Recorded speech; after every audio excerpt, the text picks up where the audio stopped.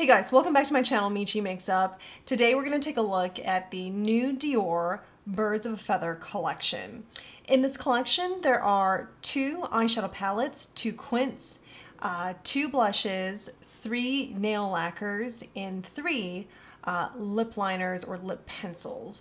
I did not get any of the lip pencils or uh, nail lacquers, but I did pick up both of the quints and both of the blushes. I am wearing um, one of the blushes and one of the quints today. I did include a, or I will be including a demo of how I put together this look um, at the end of the video but we will definitely come back and do a dedicated video to the other quint and blush that I didn't get around today. And per usual, we will swatch everything and then I'll look for comparisons in my collection to show you guys uh, if there's anything I can find that is similar. So let me show you the quints. This is Early Bird and this is Night Bird. I have Early Bird on. I think it's really beautiful. Talk more about Early Bird a little bit later. And then for the blushes, This is Coral Flight and this is Nude Glide. Nude Glide is what I have on my cheeks. A little bit more about these palettes and blushes. The palettes, the eyeshadows, are made in Italy with a shelf life of 6 months, and the blushes are made in France with a shelf life of 12 months. And the description for this fall collection briefly reads on the website as, Peter Phillips, creative and image director of Dior Makeup, explores new color combinations and effects for this new fall collection. His imagination was filled with images of spectacular birds and their plumage with iridescent tones. So everything in this collection except for those lip pencils or lip crayons are limited edition. And it's always a bit hard to say when something is going to sell out with Dior. Uh, there are instances of where quints that are limited edition did sell out pretty quickly within a month or two. Um, I think the Dune collection, so part of their summer uh, collection from a couple of months ago, the highlighters were sold out very quickly. I think it came back in stock once more and then sold out. So it's really hard to say. But one thing, just my gut feeling, is that this collection, Birds of a Feather, is probably their best collection so far this year.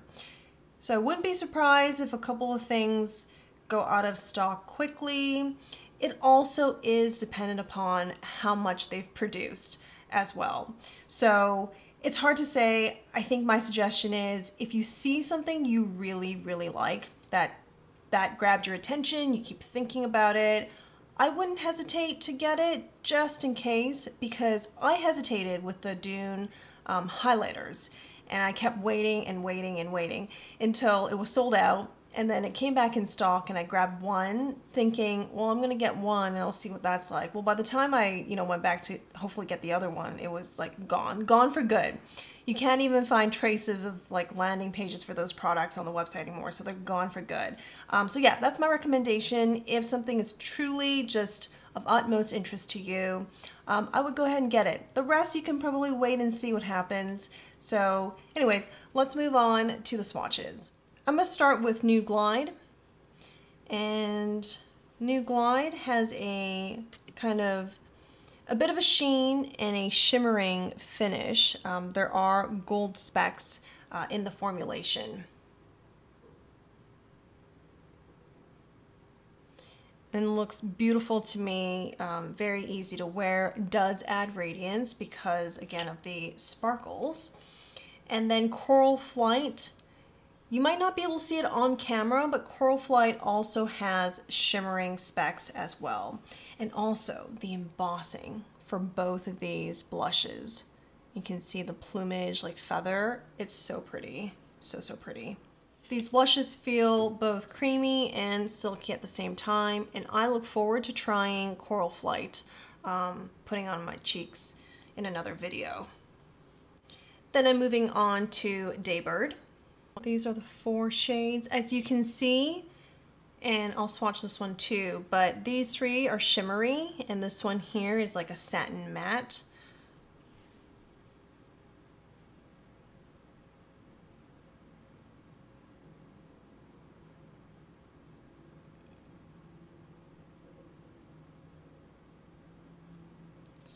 And it looks like the satin matte you know, at least on my skin tone, blends right in. However, the way that I use that um, satin matte shade was to buff out any seams in my look and I thought it worked really well because as you can see it's barely visible on my skin so I think it works really well to blend out anything. If you have fair skin um, I'm sure it's a shade that you might be able to wear like all over your lid and add some shimmer on it and you could be done with just that but for me it's definitely more of a buffing shade.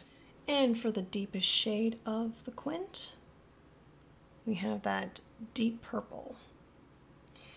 As you can see, four out of five shades are all glittery and shimmery. Um, the look that I have on today does remind me of some looks I've created in the past with Pat McGrath. The intensity of these shimmers is not the same as Pat McGrath, but it has that vibe. I feel like this is a Dior's take on a very glittery, shimmery look. What's interesting too about this collection, especially these two quints, is that uh, I believe they had planned to release this last fall, but perhaps due to production challenges because of everything that had been going on, they had to postpone this. And um, I believe I've read that information on Tavia's Instagram. I'll have a link below, but she shares a lot of you know, new makeup releases and actually really, really early previews uh, of makeup from, you know, a number of brands, a number of luxury brands. So I believe that's what I've read from, uh, from her Instagram. So I thought that was interesting that we like almost a year later, we're seeing it now. Uh, but I'm glad. I'm glad it didn't get canceled. I'm glad they decided to release it, launch it anyway.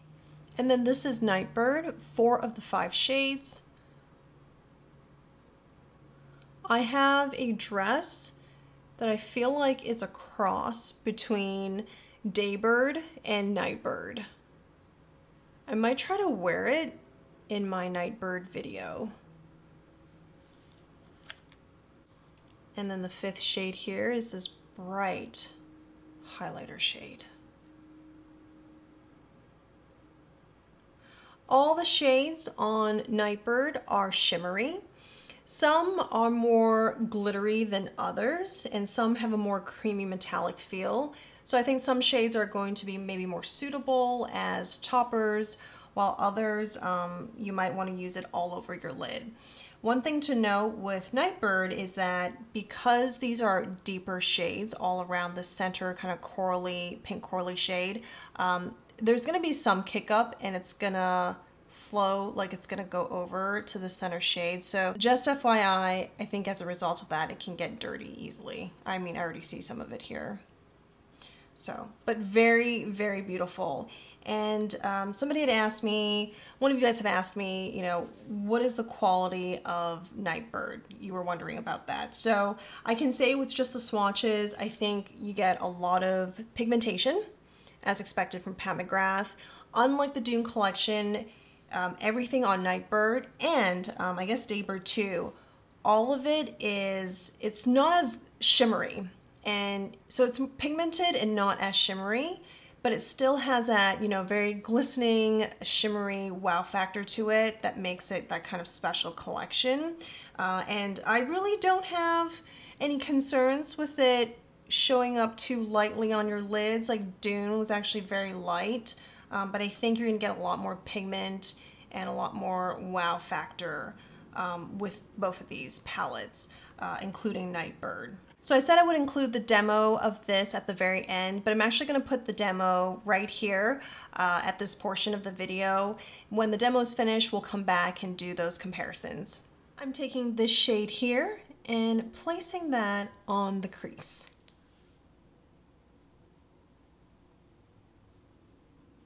Then I'm taking this deep shade here and putting that all over the lids.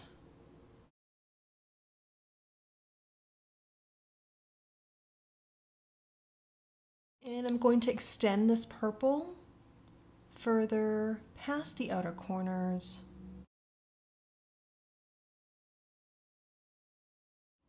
Then I'm using the Blender Pro by Sonia G to buff out that deep purple shade and blending it into the crease.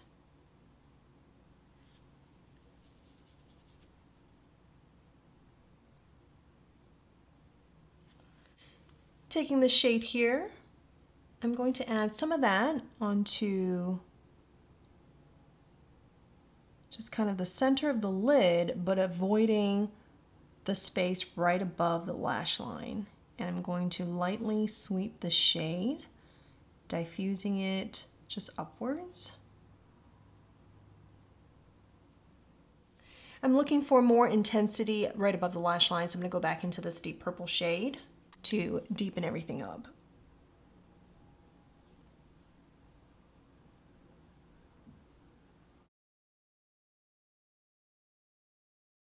And then tapping into the shade here, I'm going to start in the outer corners and blend that into the crease.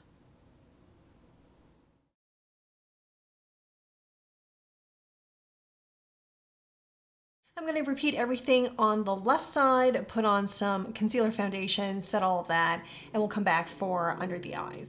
For under the eyes, I'm going to go back into this shade here, and I'm just adding some of that on the lower lash line.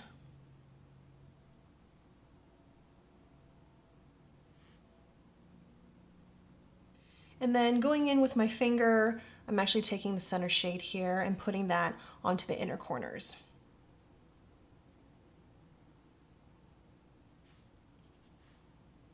For blush, I'm going to take Nude Glide and that's what we're going to go with today.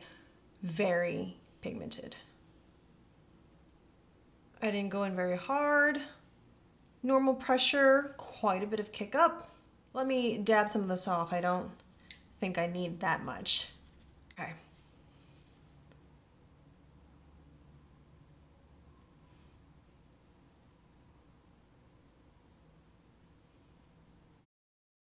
That looks nice. It goes well with the um, eyeshadows.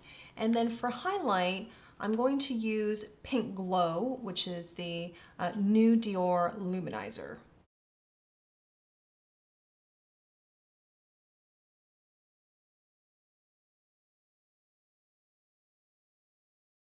For lips, I'm going to use Lisa Eldridge's Kitten Mischief.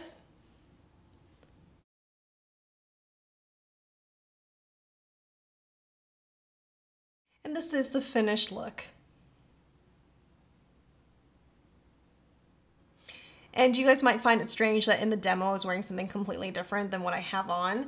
Uh, the reason is I filmed the demo portion before I head out uh, for dinner tonight.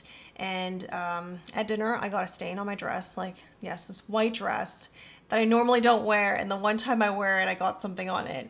So I had to treat it when I came back home and so that's why I have this top on. Um, but the makeup I have on right now, uh, it's been four and a half hours and I did do some light touch-ups. So I blotted some oil from, you know, T-zone, cheeks too. And then I did deepen um, the, the shade I use for the lower lash line. So this shade right here. Uh, also touched up on the lips, but I didn't do anything to the upper lids. And you can see there's no creasing. The colors are, you know, on and they didn't move around. As well, that um, the shades stayed vibrant. So I think in terms of quality, no concerns there. I feel like Nightbird's gonna be the same. We'll see, we'll confirm that once I get to try it, but definitely Daybird, no quality concerns. And um, yeah, overall I'm quite impressed with how everything stayed on, how it looks. You know, it's still a very pretty look, suitable for, definitely suitable for evening. So for comparisons, I did take out Denim from Dior because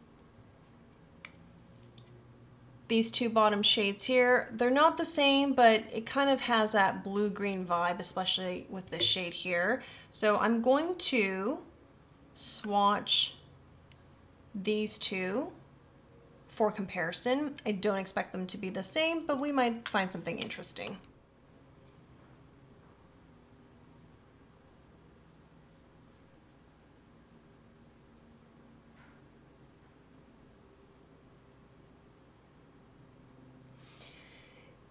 These two um, metallic shades are a lot less shimmery than these, as you can see. And in terms of shades, really not that similar. This is also much more pigmented in comparison. These are lighter And then when it comes to formulation and finish, I do think that the um, Birds of a Feather Quint may be the same in finish as the Golden Nights collection from um, holiday of last year. So I'll just swatch a few shades, two to start, about? I'm going to swatch on my wrist. You can see that the finish, how glittery it is, definitely is very similar to these shades. And they're just as pigmented, but the finish of them, that like golden glitter as part of, you know, a winter holiday collection is definitely very much present. So yeah, I think they're most similar to the Golden Nights in terms of finish um, with this new fall collection. And earlier I mentioned how the look that I have using Early Bird reminds me of looks I've created in the past with a Pat McGrath palette. So I have here Bronze Seduction, Blitz Flame is probably the red I was thinking of. So I'll just swatch and compare. So this is um, from Early Bird, and I'll just swatch it right here. They're quite similar. I think Dior is less pigmented and more glittery. This is definitely more metallic and uh, a lot more, I mean, it's kind of crimson-like. Whereas this has a hint of orange in it. This is more like tropical red. Yes, I think maybe colors you'd find on a tropical bird. Whereas this is spicier. That's the vibe I'm getting from it. And then from Midnight Sun, I am interested in Blitz Violet Orchid. And I do not think it's gonna be, you know, similar to this shade, but we're here anyways. And you can see that Blitz Violet Orchid is very shimmery and glittery in finish. Um, Shade-wise, not even close, but because of how glittery it is, it does remind me of those other glitter heavy shades from this collection. Um, the main difference that I see from, you know, Pat McGrath compared to Dior is uh, Pat McGrath is a lot more intense. So for the same type of shimmer glittery shade, um, all Pat McGrath shadows are going to be more pigmented, or generally it's more pigmented. Uh, whereas the Dior is like a little bit more subdued and even the level of shimmer and glitter might be a bit more subdued in comparison. And then finally, I do want to take out a blush that reminds me of Nude Glide. So this is from Pat McGrath's Divine Blush Collection, and this is in the shade Flirtatious. Also that embossing, so beautiful we can see just from this that they're not the same, but they're pretty similar. The kind of nude mauve tone. And that means I gotta do a swatch comparison. This is Nude Glide, and I'm going to put Flirtatious right above it. I think Flirtatious is cooler and more pink in comparison. Yes, definitely cooler and more pink. Um, this is also satin in finish and there's no glitter to it. I think it does perhaps enhance your radiance, but it, you know, there's no really like shimmer or it's like the slightest sheen. Whereas you really see that golden glitter here. Uh, it's not too, it's not too much, so it doesn't it doesn't make you kind of light up for no reason, like you don't intend to light up from a blush. I think it just adds a nice amount of radiance um, to your cheeks. So there you have it. That is my initial review of Dior's Birds of a Feather collection for this fall. And very soon here I will come back with another video where I use Nightbird and Coral Flight. I think this is going to be another fun look to do. Um, I just don't have any blushes as bright and as orange as Coral Flight. So I didn't take out any of anything from my collection to compare. Um, I'll definitely look around once more before I film that video to see because I don't want to miss anything. But yeah, I look forward to these. Let me know below what you think of this collection so far. And if you're new to the channel, welcome, good to have you. Um, subscribe, like this video, and ring the bell to get notified every time new content is released. I review a lot of luxury makeup, occasionally luxury skincare, and luxury makeup brushes. Thank you guys for watching. Hope your weekend has gone well. See you soon. Bye.